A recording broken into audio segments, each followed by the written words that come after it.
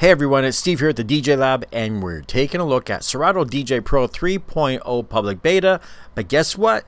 We've got a new version. We've got beta 2 now. So there's been a bunch of changes here, uh, performance and stability improvements, memory use optimizations, color improvements to the dynamic waveforms when stems are enabled and disabled, and there's a slew of bug fixes there that you can see.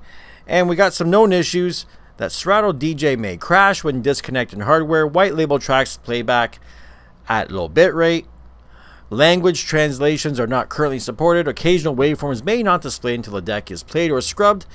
When using slice or pad mode, the playhead does not move.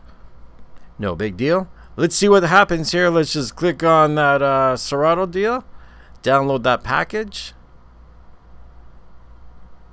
Downloading, downloading, downloading and just click open when done so we don't have to mess around.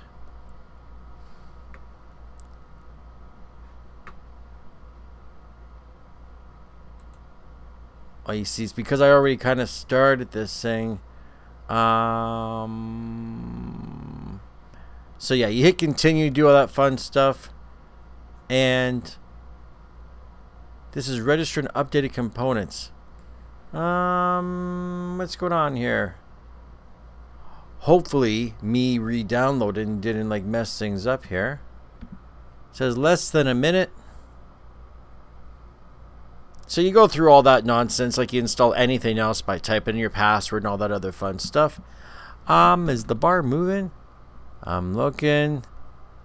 Eh, I'm not so sure.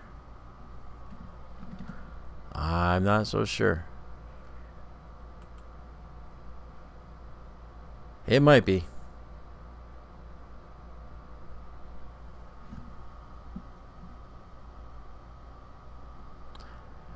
Well, I don't know what's going on here. I'm going to assume it's going to install. I don't want to waste your time, everyone.